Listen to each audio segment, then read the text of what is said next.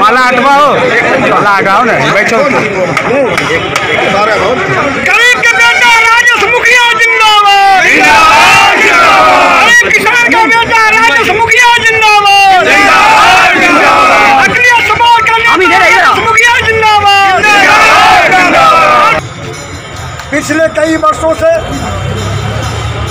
पंद्रह बीस वर्षों से लगातार अकलियतों के सवाल को, सवालों को लेकर, पिछड़ों के सवालों को लेकर, अति पिछड़े समाज के सवालों को लेकर महादलितों के सवालों को लेकर, इनके मन और मस्तिष्क में जिस तरह से बेचैनी बना रहा, जब भी कोई समस्या उत्पन्न आए मुखिया प्रतिनिधि भी हैं। पिछले दफ़ा भी बिहार में सबसे ज़्यादा वोट से मुखिया के रूप में ये जीते थे।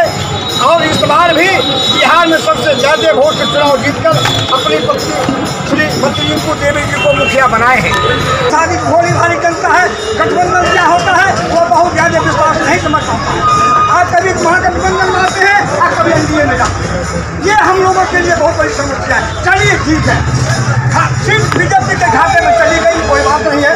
अगर बीजेपी के सीट घाटे में सीट चला गया, हम ये सवाल पूछना चाहते हैं सदन से, आप जनता के दरबार से हम पूछना चाहते हैं कि आपकी कौन सी मजबूरी हो गई थी?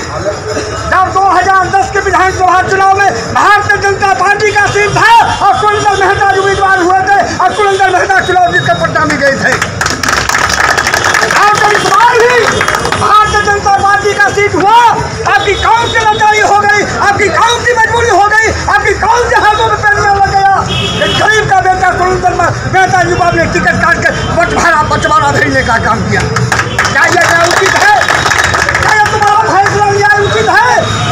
ये मित्रों, ना इंसाफी है, ये सारा है। ये बेगूसराय में जो बड़े बड़े बाबू साहब हैं, जो भर सावंती लोग हैं से लेकर पटना तक ये सारा षड्यंत्र करके पूरे प्री प्लानिंग के साथ बेगूसराय विधानसभा में गरीब का बेटा बेले नहीं बने। पिछड़ा का बेटा बेले नहीं बने, अकलियत का बेटा बेले नहीं बने। यही षड्यंत्र लोगों ने करके सुरेंद्र मेहता को बंटवारा भेजने का हम यही दरखास्त लेकर आपके पास आए हैं।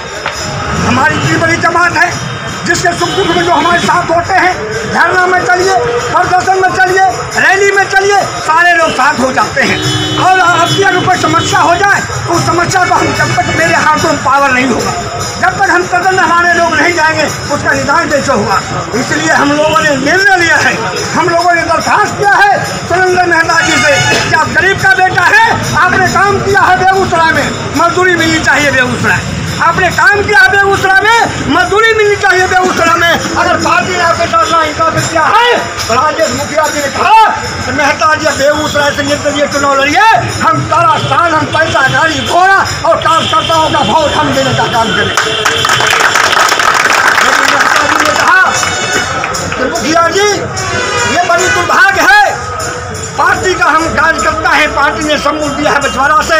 हम चुनाव जीतेंगे तो पार्टी के चेहरा पर पड़ेगा, चुनाव हारेंगे, पार्टी के चेहरा पर पड़ेगा। हमको करिए। इस जमात का प्रतिनिधित्व करिए। मुखिया जी आगे बढ़कर आइए और निर्दलीय उम्मीदवार बनकर जनता का आशीर्वाद लेकर आप पटना जाने का काम करिए ये मेहता जी का काम मुख्यमंत्री